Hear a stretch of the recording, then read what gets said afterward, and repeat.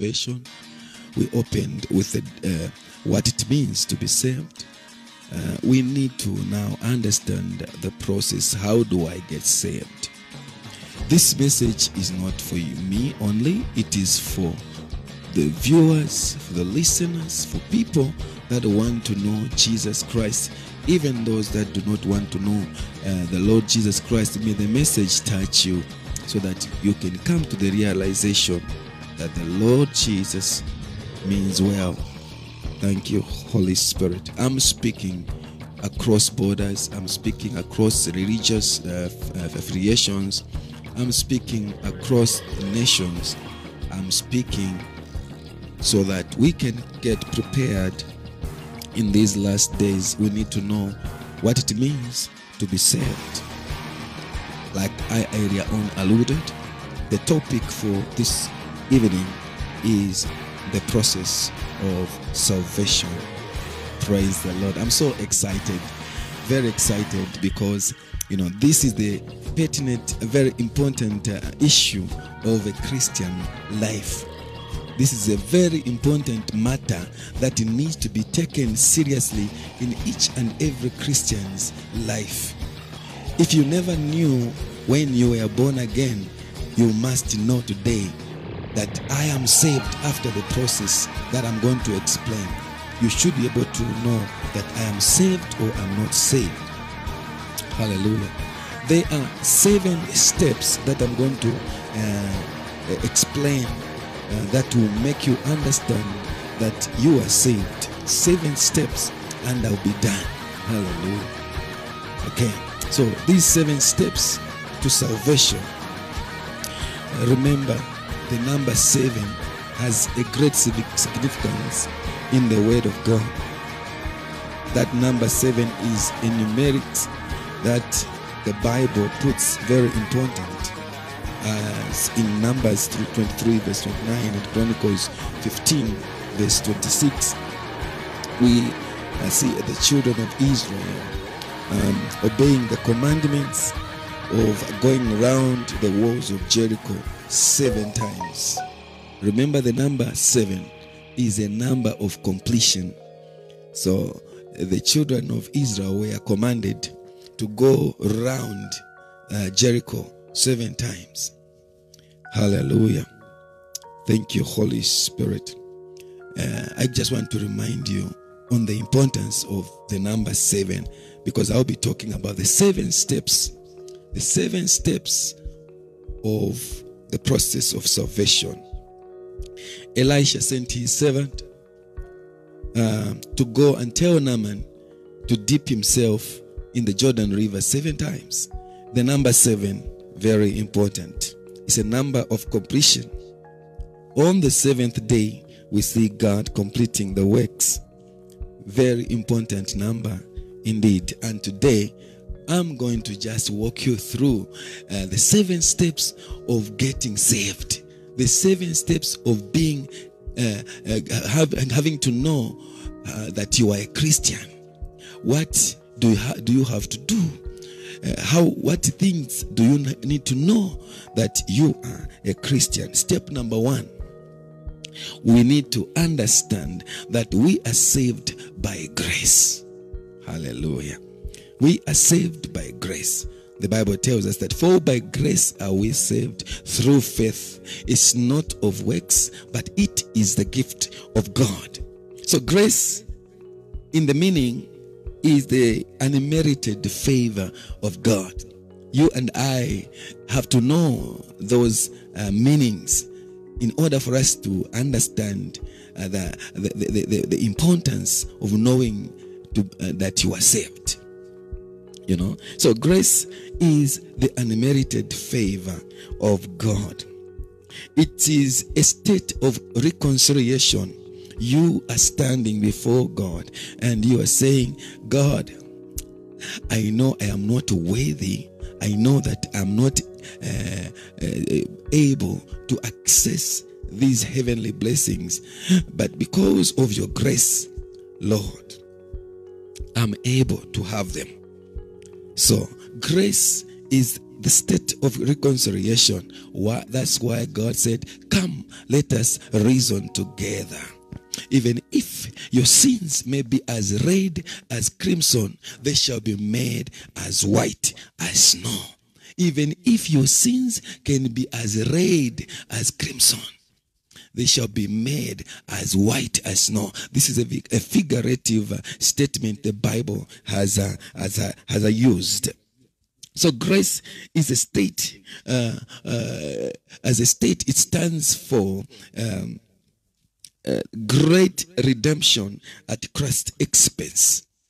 So great as a synonym or as an acronym, it stands for great redemption at Christ's expense. Jesus Christ came and died on the cross at, oh, for a very expensive, uh, very expensive. He came and died on that cross so that you and me can access salvation. So, at the expense of our Lord Jesus Christ, we accessed this uh, salvation. So, grace, G R A C E, some Bible scholars put it that uh, it stands for great redemption at Christ's uh, expense. And I believe it is so. I hope we are following each other. Step number one, like I earlier on said, it is saved by grace. You are saved by grace. For by grace are you saved through faith. It is not of your own works, it is not of your own doing that you are saved, but by grace. For all have sinned and have fallen short. That's what the Bible tells us in Romans. And they have all fallen short of the glory. But by grace are we saved through faith Thank you, Holy Spirit. Titus uh, 2 verse 11 also adds, For the grace of God that brings repentance and salvation. It is the grace of God that will bring your repentance and salvation. So without grace, you will not have that repentance. You will not realize that you are a sinner you will not realize that you have failed him. So the grace of God will bring that repentance in your heart. You will begin to realize that I am wrong. I am a sinner. Lord, I cannot match, I cannot even be in your presence, but because of your grace, I have access. Ephesians tells us that even when we were still sinners, Christ died for us. Even when we were still sinners, Jesus died for you and me. Oh, what a wonderful Savior. Even when we were still in our wrongdoings, mumatipa, even when we were still uh, in those uh, things of the world, Jesus Christ died specifically for you and me, my sister, my brother. Step number two of your salvation. You are saved through faith. You are saved by faith. Hallelujah. And from the definition of faith, you will understand that you are saved by faith. Faith is the confidence, the trust, you know, the confidence, the evidence of things not seen. That is faith. Faith is having a spiritual acceptance of the truth, which is this truth, the Lord Jesus. The Lord Jesus is the truth. He says, I am the way, the truth, and the life. Nobody comes to the Father except through me, says the Lord. Faith is believing in this God. Believing that he is the rewarder of them that diligently seek him and accord according to his purpose. Faith. So, step number two, we said it is being saved by faith. Step number one, being saved by grace. Remember, I am talking about the process of salvation. Step number three that you need to re, uh, uh, uh learn and assimilate in your life is uh, being saved by confession. So once you have been saved by grace, you have been saved by uh, uh, you have been saved by faith. You need to be saved by confession. Confession means to discuss sins, to discuss faults to God, your failures. You discuss them with your God. You communicate them to God. You say, God, I have sinned against you. And you can even itemize the kind of sins that you could be going in. You can say, Lord, I have been immoral. Lord, I have been in a sexual intercourse. Lord, I have been very uh, uh, a big liar. Lord, I was a thief. Forgive me. Lord, change my heart. I am nothing without you. Your confession is very, very powerful. Your confession is very important in the process of your salvation. Confession is helps you to remove burdens from your conscience. It helps you to remove those burdens from your conscience. Hallelujah. It is a way of acknowledging that you are guilty. You are not worthy. You are guilty. You are wrong. You have failed. You have admitted that you have failed. You cannot meet the standard so you when you confess your sins, the Bible tells us that he is faithful and just to forgive us of all kinds of sin and heal us of all manner of diseases, says the Lord. Romans chapter 10, verse, verse 10. For with the mouth we confess unto salvation. With the mouth we confess unto salvation. Confess your faults one with one another, James says as well. And pray for each other so that you may be healed. What a God we have. He has laid out a platform, a process of salvation for you and me to follow. Step number four of your salvation is being saved by repentance. When the step one, two, three are followed, you need to realize that you need to repent. What is repentance? Changing one's mind, changing and turning around, forsaking all wrongs, forsaking all sins, and turning your face to God and saying, Lord, I repent of this. I repent of that. And God realizes, uh, comes back to you and says, Welcome, my son. Welcome, my child. Thank you.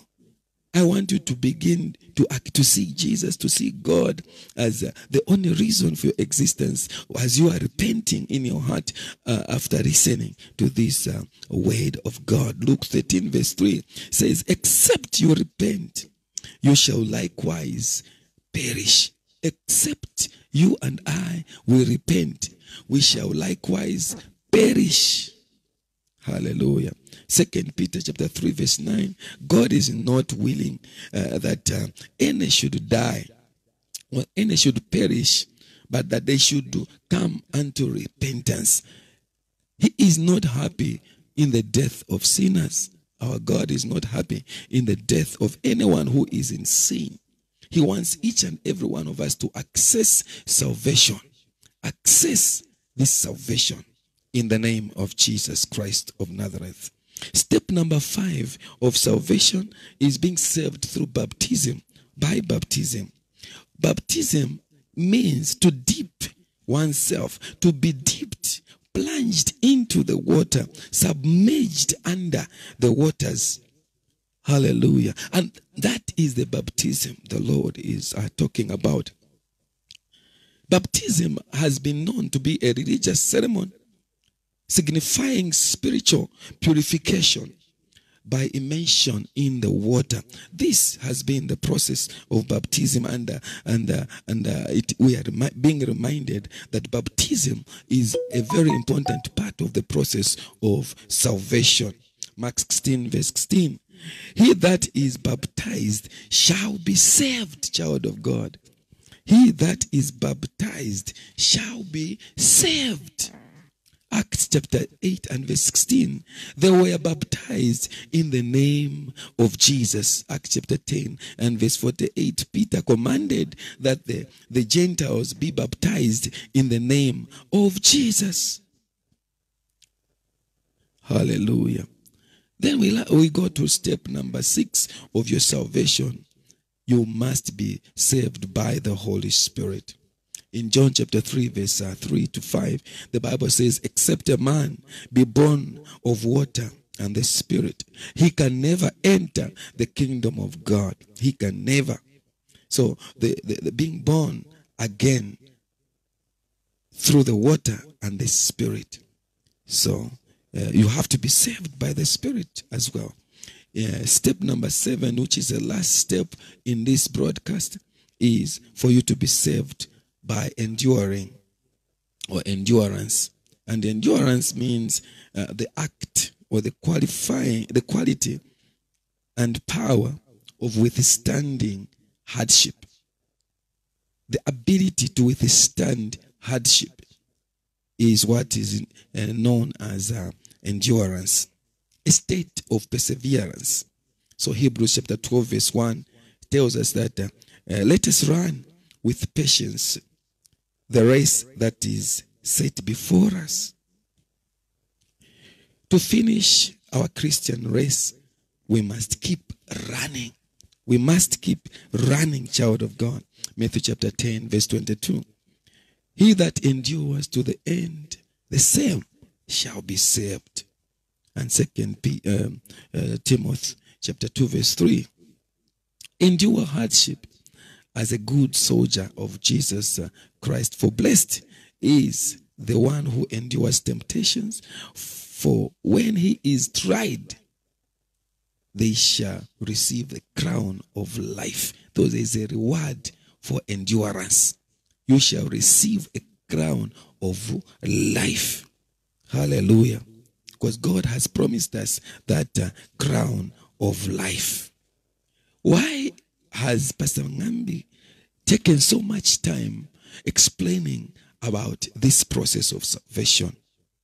It's a reason, the reason is very simple. Many Christians have just joined churches. People have just joined churches and they have forgotten that uh, uh, they need to be born again. Being born again is being transformed from your old self to your new self. Being removed from the conformity of the world into conformance with Christ. The Bible tells us in the book of Second Corinthians chapter 5 verse 17, child of God, that you the old self has gone and the new has come when you are in Jesus Christ. To them that receive him, he gave them the power to become sons. Power. When you receive Jesus Christ, you have the power to become the son of God. Thank you, Holy Spirit. So this evening, I believe with all my heart that using that process of salvation, you will identify where you are. You will know that, ah, I think I need to um, receive Jesus or I need to uh, dedicate my life to Christ so that God can begin to live in me again.